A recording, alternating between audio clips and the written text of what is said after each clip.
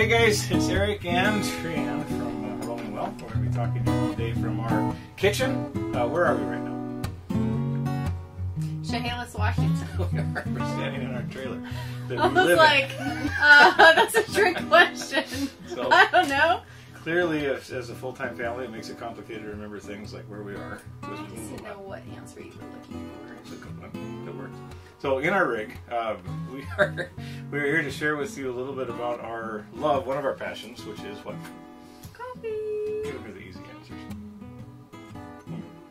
So, over three years on the road, we've come up with a number of different methods, ways, procedures, things that we've learned for making coffee. Uh, we haven't just been drinking coffee for three years, it's been for most of our lives, both of us growing up with uh, military dads and growing up in a Lutheran church. It was kind of a requirement at somewhere around age 12 and up, so this is kind of a lifeblood for us, what we're used to. Over the years, things have gotten fancier, right? I don't know. No. Well, no. No? Maybe for you. I now get hot coffee. That's fancy. what was coffee like growing up? Oh, I didn't really start drinking coffee till high school because it was we. I lived up near Seattle, so it was, it was fancy coffee. From like a drive-through. What was the what was the place you Did went to up try there? through then? I don't know. Um, Venetto's, for those of you who are familiar with that in QFC. Um, it wasn't till later on that we were drinking Starbucks and things, but we love to go find whatever the local shop is. And so one of the coffees that we're doing today is from a local shop that we went to at the Balloon Fiesta. That's right, in New Mexico. Mm-hmm. So fast forward a few years uh, from high school, just just the lightest few from high school to now, Yeah. and uh, we now travel around the country. We live full time in the rig, and so we drink coffee everywhere. So it just depends on where we're going. Um, the coffees that we have, though, the hundred different ways that we make it, I think is what we want to talk about today. Yes. What was coffee like at home? Um, you know, just Like a drip. Drip I grew coffee? up with drip. drip coffee. My parents got an espresso machine in high school, so then things got a little bit fancier on there. But most of the time it was drip coffee or gas station coffee, or that kind of stuff. I never really had the fancy. They didn't have too much fancy stuff till I met you. Then everything got fancy, right? Just life got fancier. This is way more information than I thought y'all were getting. So, uh, Oh, it's it's interesting, right? Because why is this important to us? Why is this a big deal? A coffee. um, because we have so many things to do, we don't sleep. I don't know. That's it. A little bit of energy. What happens when you don't drink coffee? You end up getting headaches and stuff, right? I don't know because I never sleep. it becomes something that's important to us, is what the point is. We always have to have our coffee around. Maybe we'll have separate channels. we'll have trans version of coffee and air version of about coffee. It's more like a ah. coffimentary. Is that a word? We just say I, a I word. wasn't I wasn't prepared. I should have eaten more before we started. A coffee mentary. Does that work? No, I it really it. doesn't. It was, hey, here's four ways to make coffee. Nobody's gonna watch that long. Uh, You'd be surprised. It's the connection, right? Do you guys feel connected now because you know more about how Triann grew up drinking coffee? no, nobody cares. Watch the comments.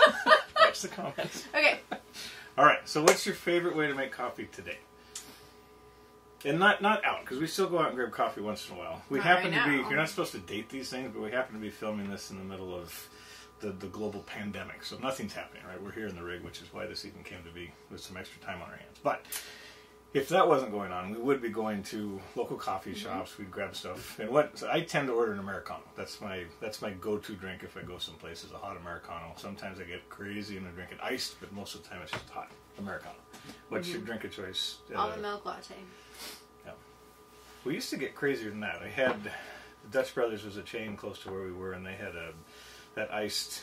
What was the? You like the Kokomo? That was it. Kokomo, coconut milk, and bunch of sugar and stuff. But anymore, it's just kind of plain. So today we don't get quite that crazy. Triann gets really close to hers here, and we've kind of figured out how to make the americano a little bit as well. But nine times out of ten it's drip, but sometimes we get kind of fancier than that in the house. So we're going to talk a little Yes. about how we do that here and different things we use for that. So mm-hmm. where do we want to start? Hot water. Ain't got no hot water. No hot water. I'm going to light this up. Are you all right? it should be boiling. All right. Talk about what you have. Okay, this is um, I don't even know what you call them. It's a little ceramic Pour over. pour over container, and um, I like the ceramic because I think it's better than using the plastic. Although we do have another coffee maker thing that's plastic, um, and then I get the unbleached filters Yeah. for it. So And this this comes in a bigger deal when we don't have power. You actually you actually do this a lot of times. So even when Well, a couple of things. One is that because we're not going shopping as much, I feel like my organic Keurig pods are kind of. I'm rationing them. I'm rationing them. And this came about because we were boondocking. We didn't have our regular electricity plug in, so we were just running on the generator and the propane. So if I had had this at the time, I could have had unlimited coffee, but I didn't have it at the time. Um, so my lovely sister-in-law gave it to me um, for Christmas, and so Yeah. it's been getting a lot of use. and now we're using it because the particular park that we're in right now has 50 amp power instead of I mean 30 amp power instead of 50. And so with that, then the way it works inside the trailer, or coffee. one or the other. unless you do the drip. So, what do we want to use? So, this is the pinion coffee that we got in New Mexico. which is good. And we learned that pinion means pine nut, right? Isn't that what it is? So it's almost like a hazelnut. It's a very similar taste to that. I oh, here. My parents had a flavored coffee phase growing up. Dad was into hazelnuts. That's probably why I like it. It's a flashback to, to that. So what is this precise? Nothing in my life is precise. I don't measure anything, even when I'm baking a cake. So, I'm actually so I'm supposed to be doing all organic. This is interesting. and I really like the flavor of this pinion, and uh, it's not organic, so I'm kind of cheating and doing half and half. Makes me feel better about the whole situation. Oh, yeah. Nope. I haven't actually watched you Nope. do this before. So this is half organic and half not. I figure that it just all evens out in the end. It's just org. This is org coffee. Org Or anic. It's really simple. You boil water and then you pour it over the grounds. It's super So you don't have to stir. You don't do anything. You just do this. Eric apparently has more steps to his coffee making. I, I just never watched you do it. You always offer me a cup of coffee. And does it taste like coffee? Yeah, All right. like org coffee. I can hear it dripping. Can you guys hear that? We should get in close for like the ASMR thing. People listening to the sounds. I like to hear that. Quiet. So we can We're not going to do this all the times. So how It do you does take a little longer than a regular, you know, pod. do you have a precise? No, so I do it until I get about the point that I feel like the creamer need for the moment has enough room. And we, we probably should unpack that just a little bit too, because Really? you don't ask me to make coffee for you too often. No, you Because, don't do it right. because I don't do it right. so Triann has a, has rules about how much coffee goes in here to how much creamer. And if you're a creamer user, creamer drinker, you probably understand that. I always drink my coffee black so it doesn't compute. But if she gets too far, sorry, if I make it too far one way or the other, then there's issues with that. And so what she's trying to do, I think, is get to that perfect mix. Right. But in the essence of time, especially for Eric's stories, we're going to just stop right there. So, option number one great for boondocking Okay. and using local coffee that we love to buy whatever is local to the area. So. That we can supplement to make half organic. I really didn't know that happened. That's fantastic. Most places have organic. This was purchased before I was doing all organic. It's not a criticism. I just didn't know that you did it. screen for a moment. All right, she's going to do that. I'm going to talk to you a little bit about a different way that we started this off. Uh, when we were doing, when we first got on the road, we were making coffee without power. It was with the AeroPress. If anybody has one of these, so very similar process. Um, is that what my coffee cup's for? Yep. All right. So this one, same idea. Maybe it's like a French press, where a French press. We don't use one anymore. We haven't used a French press for a number of years because It's a pain to clean. And when you are in a park without sewer, you don't want to be spending time cleaning your French press. yeah. So that's probably why Seemed we like a went great to this. idea. Several people have said that they started with the French press, but it kept breaking for different reasons, and so they went to a stainless steel French press. That's an option, but this was a better fit for us. It is. It's just a. It's kind of a backwards French press, right? I guess it's a sleeve here, a plastic sleeve, and we put a filter basket on the bottom. So I put a piece of paper in here. You buy them by the hundreds. Um, it gets twisted on, and so now this is the piece that actually sits on the pot itself. Now to this, we're going to add the coffee, which is what. Yes. Usually we have a finer grind. Yeah, we found that the finer the grind, the better it is. But if it gets too fine, then it's almost like silt and you can't push through it. So somewhere, somewhere between. Now we do this very different. I told you guys I like the Americano style, so I tend to make mine a little bit darker. That's two of these scoops for a cup this size. And then there's gradients on the side of this. We will end up drinking this. No coffee will be wasted through the use of these. That's true. So there's gradients down the side. Well, they're not huge. One, two, three, four. Um, what they tell you on this usually is to put one of those scoops in there and then go to one or two, and that's going to make that shot. Uh, the pressure through the coffee is what they're going for. Makes it more of an espresso type thing than the drip.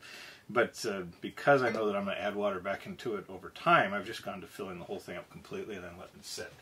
So the process for this, regardless of how far you're going to go down or how much water you put into it, is to get the water into the sleeve here.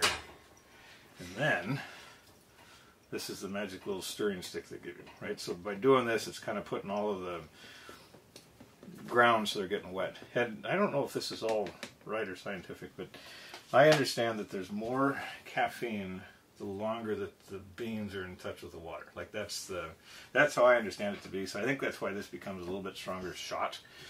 Um, so now this thing's kind of drifting a little bit. Hear it? Can you hear it? Nope. Oh, is this slowly leaks But what happens now is after I let it sit here for a minute, we're actually going to put pressure from this, and that's what pushes it through like an espresso shot. And that's where people like to use this. So we'll, we'll do just that. This won't work on plastic cups. it's got to be a ceramic too. and the trick with this, the real magic, is to make sure when you're done to do this right away. Um, by releasing the bottom here, you take that filter piece off, and that has the piece stuck to the bottom. You just push the puck out, and then it creates that puck left at the end of it. So it's easy to clean up afterwards. A little quick little rinse of that, and it's all done. Um, and then that's your coffee. Mine's about here, so if you were a cream person, that'd be all right. For me to drink that, I'm going to top it off with water, and then that's going to be my good cup of coffee. And I'll have one or two of these. I notice Can that hand this off to our audience Yeah, since you that. already have a mug? Anybody that would like an Americano? We do have an audience. I don't know if we explained that to everybody. Um, French press, AeroPress, those type of coffees, even espresso. I grew up drinking coffee all day. I can have eight, ten cups of drip coffee all day long. These coffees are stronger for me, and I'll notice if I get too many of those, it's definitely more of a jittery type situation. So my preference is usually drip just because I enjoy drinking the coffee all day, but there's definitely more flavor involved with these two. And I think that's probably what it is. Every time you make me that pour over, I really like the taste of it. It's just not as, it's, I can't have as much of it. So one of the reasons that we went with AeroPress, so we specifically bought the AeroPress when we went full time and moved into That's the RV because it's lightweight, doesn't take up much space. You can use any kind of coffee, um, and it's it, like you said. I think the filters are 300 packs, so um, you know, last a good month. Um, I think the whole thing, making it rough. Um, I think the, uh, um, I think the whole thing was like thirty-five dollars, right? Because so far, nothing that we've talked about has had too much expense to it. I for think the some reason, I feel like it's more than that, but it's you know, It, it wasn't a It lot. It was a reasonable investment. The pour over certainly wasn't, right? Those are $15, $20 depending on what, I think depending on what you get. Right. Plastics are even cheaper than that. So, and yeah, and part of the reason I went with the pour over versus the AeroPress at the time is um, sometimes the AeroPress is just too much work. it is. And so the pour over is super easy and convenient. I think the pushing into that thing, it actually takes quite a bit of pressure to do it, and that's depending on how you're feeling and what your Mm-hmm. How body's awake you like. are. How awake you are, that can be challenging too. Yeah. So it's not always our first go-to, but it's nice to be able to have that. So what do we have left? So we've got the Nespresso machine. Yeah. Um, this is another item that we purchased knowing we were heading into a smaller space. Um, This we- thing's tiny. it's very small, which is nice. Um, And it's it's made to create a espresso shot. That that's Right. that's the design. So you're gonna make you're gonna use a pod now, uh, similar to the Keurig, which we'll show you in a second, but the smallest espresso pod that goes in and is used for that lighter lighter bit. Um, it's made actually you can order it with little bitty uh, espresso glasses that you can use here, or you can flip this piece up and, and put it in. Now there's fancier. Nope. That's not gonna work, is it? hold, please. Should have had one work up ready. There's fancier. Uh, does that work? Yep. There's bigger versions of this as well. Uh, this particular size we bought because of the size of it, right? Because it was easy to use. And there's literally two buttons on this thing. On the back, you have a uh, a small cup and a large cup, and there's fancy names for this, right? Do you know what they are? Lungo and something. Okay, I didn't. I was hoping we could look that up for you. But uh, um, again, back to the Americano stuff. Small and bigger. Small and big, right? We both use this differently. So back to me like in the Americano or black coffee, I will run the large button twice on each pot. So I'll put a pot in, run it through with coffee, or run it through again, which is less intense, right? But more water going in, and I'll put another pot in and do that again. So two of those is my cup of coffee. That's what I like. Yes. You run it One big, one big, yeah, one big, and then milk. and then the creamer milk on top of that. So literally with this thing, pretty straightforward. It goes in just like that. You close it. I remember, this is going to be a little bit loud. It's, there's a pressure that's pushing the stuff through, so I'm going to do that. It's not horrible. It's going to make a little bit of noise, and it's relatively quickly. Because of the pressure coming through this thing, it creates this really creamy coffee, more like an espresso shot would. And so I think that's where a lot of the flavor comes from in this. Um, they've got their own brands, but a lot of them are store brands. You can find Peet's, you can find Starbucks, you can find a lot of coffee you're familiar with, uh, as well as their own individual things that you can use too. This one's almost done, but I don't know if you can see the foam coming out of that. It's really Yeah, probably not. a little bit.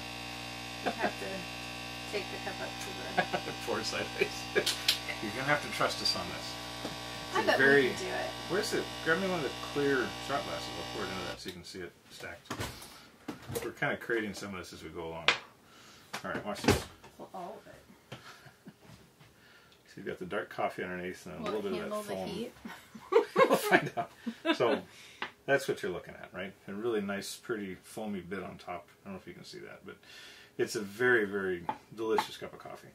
Um, so we'll share that later. We'll save that. so two of those. I do this again a second time with just a clear water, and then I mean I say run clear, but lighter water, and then run it one more, and that's that's my cup of coffee. I like that. Um, I guess that's it for this. And then what's our final, kind of our day to day, normally, right? Well, yeah. So that we first started, we had the Aeropress and then espresso. So if we had power, we'd use an espresso machine. If we didn't have power, we'd use the AeroPress. We always have Right. power, but if we didn't want to use it for coffee, that's what Right. we'd use. Yeah. Now that we're plugged in a lot more often, it actually started in the office last week or last year. I'm sorry. I would take this to work, is where this this machine came from. Well, yeah, you bought it for the office, and then when we left, it came with us. It's a monstrosity. It's one of the bigger appliances we have in in the rig, but it gets used quite a bit. Um, So when we go back to the office, that's close enough. I think it should go with, but we'll see what I don't happens. mind that. It gives me. So this is closer to the concept behind the Keurig. People coffee. love this, hate it, whatever they think. This is a pot of coffee that you make in your normal coffee maker, but it's hot all day long, right? That that's what the Keurig does. Anytime you hit the button, you're going to get a hot cup of drip coffee. That's it. It's not fancy. It's not going to be crazy, but it's just kind of basic coffee, but hot all the time. And Right. we were going to show your Yeti too. Mm. Do you want to talk about your Yeti? So I love. So I've got my Yeti cup with the straw lid, and my metal straws with the silicone at the top. That's what I use for my iced coffee. Um, It's beautiful today. It's in the upper 60s, lower 60s. I don't know. The sun is out, and so iced coffee sounded like a good idea. Eric's got a little different style. This one will fit in my cup holder for the van, which is awesome. And this won't. Um, I've yet to find into the Yeti cups I've got. We pulled another one up here. Maybe it got put back. I've got a big, great big one we got from REI last year. It's a huge Yeti cup, and I actually really liked it, but I almost had to abandon it because I can't put it into any vehicle. There's no cup holder that holds this. That's a fireside cup. Yeah, so it becomes an outside cup. This one I got for Christmas, I think. Uh, nice blue color, the handle's the right size. And what I really like about it is that I can put two full cups of Keurig coffee here in the morning, take that into the office. So that's why I end up using And it most does of the time. sit in your truck. Yeah, it will Cup fit in the holder. truck. I don't think the van. Does it it's fit still the van? limited. So the tapered bottom Yetis definitely have more versatility about where they go, Mm-hmm. but I like the feel of this, and it keeps the coffee hot all day long. So that tends to be what I do. What do you want? Are you going to make one to drink? I know you're going to show No, creamer and stuff too, but I, I think we have enough. Do you want a cup of coffee to drink? How are you doing? I'm good. You're good. I Okay. add creamer to that one. I know. We're, creamer's coming up next. all right. I'm going to top mine off then. Okay. Real quick. So Well, Dan, Eric, yeah, Eric's gonna do the Laughing Man coffee, this is which is go ahead. um. So the two that we have, we have the Newman's Organic, which is one I drink, and the Laughing Man, which is a non-GMO. Um, both of them are companies that do a lot of philanthropic, philanthropic. It's my word of the day. Um, giving back to the communities that they're in. So we enjoy supporting them. All right, and it tastes good. Um, this is a little bit quieter. It doesn't have the same pressure. It's not pushing on that. The Bars, right? They're talking about pressure. Bars of pressure. I think that's right. This definitely. I don't read the that same articles that he does. I have no idea. Where the Nespresso is trying to pressurize through that metal cylinder and create the pressure, and that's where the foamy coffee comes from, similar to an espresso shot. This is just trying to replicate drip. So those Keurig cups have loose uh, grounds inside of it. When the water gets into there, then just pressures and drips out the bottom, and that's what's going on. Uh, they're pretty versatile. We've had multiples of these over years. If they ever have a problem, they start to get slowed down or stopped up. Um, vinegar is actually the magic for this. Wait for the. Wait for the I think it's noisier than the Nespresso, but It could be. Um, if you have trouble with your Keurig and you're having issues with that, run uh, run the, the, the water uh, reservoir about half full of vinegar and run that through, and then follow that with two or three clear uh, reservoirs full of water, and that typically will take a lot of that hardened uh, water out and free that up. It took us a while to, to remember that. I think that became a, a catch for everybody is to, to learn how to do that. But uh, that's my favorite cup of coffee for the most part. If I'm not going to go out somewhere, this is kind of my norm. I'm just going to grab something and, and drink it as a, just a regular cup of Keurig. So Triann's does that have to be plugged no, in? Triann's setting up a, a couple different things right now. Um, these are more like uh, add-ons for these and some neat appliances. Um, we were kitchen gadget nuts in our house, and so we downsized, got rid of everything, and then went and bought new things.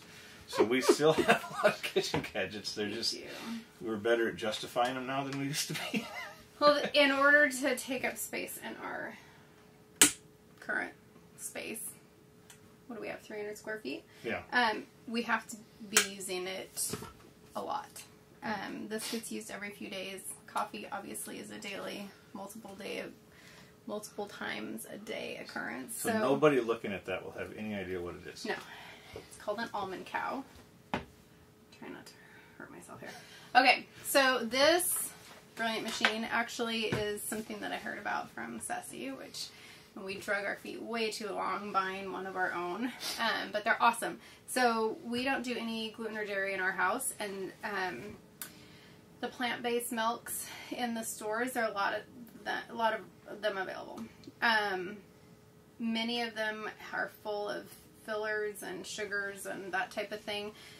And I wanted to be able to control what was in what we were drinking. And uh, especially with the organic piece, it's less expensive to buy the organic nuts yourself and control if there's sugar in your milk or not. So, The, base, the thing's going to make almond milk. That's the whole. makes almond milk. Today we're making cashew milk creamer. Yeah. Um, with the almonds, you want to soak them first. The cashews are soft enough that I don't need to do that. So what I did today, I've got a cup of the cashews in here. They're raw organic cashews. Where's my, oh, here we go. In this little container, I have some cardamom, pumpkin pie spice, and vanilla Oh. powder that I'm going to put in with it. Since we're making creamer and not just milk. There's two ways you can do it. With creamer, you, I put the water in the little collector cup. And what? Just do that really quick, right? Because otherwise, you put this whole thing full of water, and it's Yes. gonna create what? what? What do you usually make in that? Usually just make straight either almond milk or cashew milk or a combination. Sometimes I'll put oats or coconut in it. So that goes in the fridge, and then we have milk instead of buying cartons of milk. We're using this to create the almond milk. Right. But so we also- make a new batch probably every three days or so. Um, depending on what we're using it for. We use it for baking or cereal, right now. Kids are- smoothies, that kind of thing. Uh, so I have it in the collector cup. Normally this wouldn't be in the bottom, but the I'm making a stronger batch of milk basically by doing this. Um, and the container needs to be submerged in the water. So that's why we're doing that. So the trickiest part of this deal Did you put a date in there already? No, so I put some maple syrup Oh. um, in the in with the water for sweetener. You can use organic dates. Um, most of the time, recently, I haven't been putting any sugar in my creamers. I just like the flavor of it. Uh, Daniel specifically asked. We told him he could drink coffee on Sundays, so he specifically. And tomorrow's our Sunday. Um, so we are making some a little bit sweet for him. Ceci will probably appreciate that it's got some maple syrup in it too. Um, so trickiest part of this is getting the container on because you have to put it in backwards. This is kind of loud, but it doesn't take very long. So the little green light comes on. You're gonna hit go. It's gonna go through three cycles. It's a good time to enjoy a cup of coffee, though. So Well- that's. One. One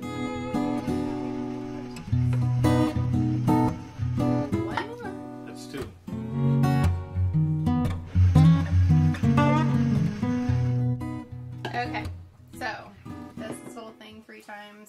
The light goes back to solid.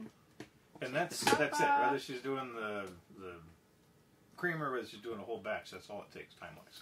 So normally you would use that collector cup and set this on it, but I don't have that, which is why I need to grab one of these. Mm, You got it? Yep. Okay. Um, I have one of my little mason jars here. We've got our creamer ready to go. Okay. So then we're going to transfer. It's alright. I made a little bit of a mess. It's okay. Alright. So when you take this off. I can't remember. Oh, there we go. If our sink was available, I would just rinse it off right now. Our sink is under the super we put panels easy super easy to um, clean up. And then with the pulp you can make chia pudding. You can um, spend a little bit of time get the pulp a little bit drier and use it for baked goods or oatmeal that type of thing so nothing pulp- ever goes to waste The pulp she's talking about is what's left over in that in that metal cup we put into there. So that basically with that sieve, it's holding all of the solids inside of that and then circulating the water through to create the the uh, the cream or You're the milk, whatever you're really making. But what's neat about that is then after you're done, you've got this whole mess of good pulp left, and Triann uses Right. it for a lot of different things. Like she said, pudding, or she'll put it into oatmeal or something else too. So the whole thing gets used, which is really neat. It's pretty great. And the kids really enjoy it and they can pick their own things. Uh, however they want their So they what want if you sweetened milk or not sweetened milk. Okay, so this is the other thing. What if you I wanted it hot? and What if you wanted hot cream? hot creamer. I know, I should have had Sussy wait, I didn't think about it. Well, Okay. So this is a little this one's by Nespresso, but there's a lot of different options for having steamed milk. And they call these frothers if you're looking for. them. We'll put some links in so you guys can see the stuff. But that's what you're looking for. What I like about this is everything turned on.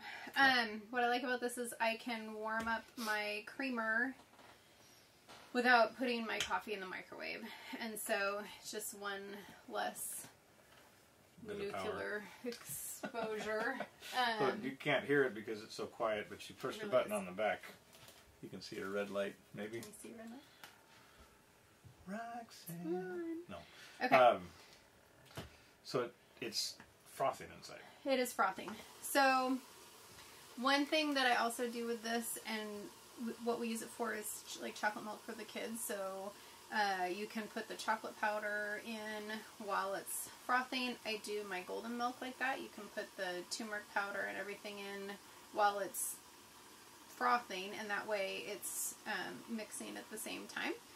Super quick and easy. You can see the steam coming off of this. What's happening? There's a small whisk at the bottom on a magnetic motor that's spinning around, and then it's creating. Well, it's whisky. and It's also heating through a heating element, and it creates this hot, frothy creamer.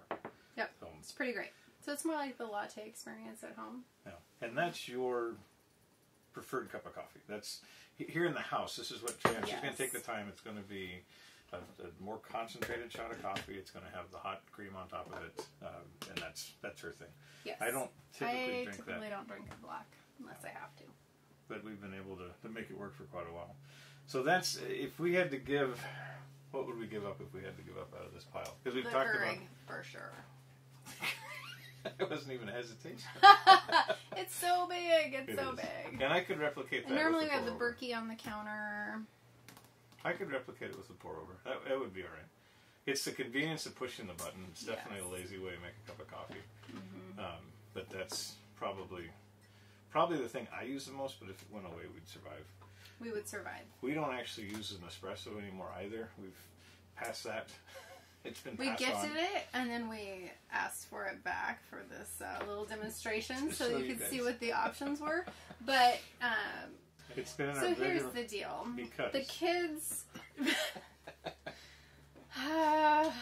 um, Eric, the children are usually sleeping pretty close to the kitchen, and so anytime we would make coffee, there was a high likelihood of waking them up. And so the Nespresso could sit on our dresser, and we could make coffee in the morning without waking up the kids. Which was great, except for I always drink creamer with my coffee, so I had to come downstairs and get creamer anyway. So yeah, So I think I think that's it. That's the highlight of our coffee world. Um, not anything too much fancier than that. I don't think there's anything we want to change. There's no. We're not after any other products right now. I think we're pretty set. We've gone through. We didn't show grinders. We finally got a burr grinder. I'm not in love with it. Um, it's still a little bit easier right now to buy Buy ground coffee, which Yes. is not the right way to do it. We know that, but it's just trying to have is the there right. a wrong way to drink coffee? Well, I mean, if it makes you happy. Oh, I, I, there. Everyone else is nodding yes. There is a wrong way. So the grinder is it tastes better, but it's one of the things that only comes out to grind the coffee, and so it's really low use. We tried that pepper grinder thing, like the hand mill. You remember we had the one that was. I manual? remember. That was terrible. It was terrible. Yeah, seemed like a good idea. and it just- expensive for what it was. And then our burr grinder. So every time we move, we have to take the things off the counter and put them away. Well, my the grinder got put on the floor, and all of my organic Swiss decaf beans and what was ground is now on the carpet under Emily's bed. So so, it was kind of sadness. so when you come out So I don't sometimes love it. after you move, you'll see one coffee bean on the ground. It looks like we've got rabbits somewhere. so let's just find this little bean. A little pile of beans. So We'll find them all eventually, but they kind of shake out of place every once in a It's like an year, a year long Easter egg hunt. It's uh, it's fun, recreation and fun. So, not a big fan of the burr grinder right now, and I don't know what we'd do instead. I think We it's buy it ground. we just buy it ground. That seems to be the way we go. So, we'll take criticism for that for sure. See, if you have a grinder you love that isn't yeah, doesn't take up a lot of space. Oh, says he's his little hand grinder. no, we do have a We totally got rid of that. we have a um, uh, Vitamix that gets used daily for smoothies. But you could put the. Uh, why couldn't we put the square? We do have a dry blender that is Yeah. currently in a kitchen box in storage. Yeah, let us know if that's something somebody uses, because maybe that'd be a way to solve the problem. Right now, I'm wishing I had it, you know, to make flour and things. Now that we're having trouble finding things. Can you make toilet paper with the Vitamix? No. No, still no solve. all right. I think that's probably a, a highlight of what we've done. This is our, uh, our first attempt at all this stuff. We're hoping to do some more. If there's things that you'd like to see, things that you'd like us to uh, talk about, we can do. Um, most of our stuff, or all of our stuff, is gluten and dairy free. A lot of it's vegan as well. And so, trying to think through what we want to share and, and bring this to you. Um, but hopefully, enjoy it. Let us know if there's something else you'd like to, to see us talk about or uh, argue about or, or share stories about. And how happy. much information you would like about those things. Documentary style or That's it. Tell us about your childhood. nope. All right. Thanks for joining us. Have fun. Enjoy a lot of coffee and tell us what your favorites are. It was actually, it was bedroom coffee. I think you're going to find after sharing that story that there's a lot of people that can relate to bedroom coffee. We're probably not the only people that do that. It's possible. Pro- probable. It. or we'll edit it out. You know, who knows? But the poor people here on uh, live have already heard.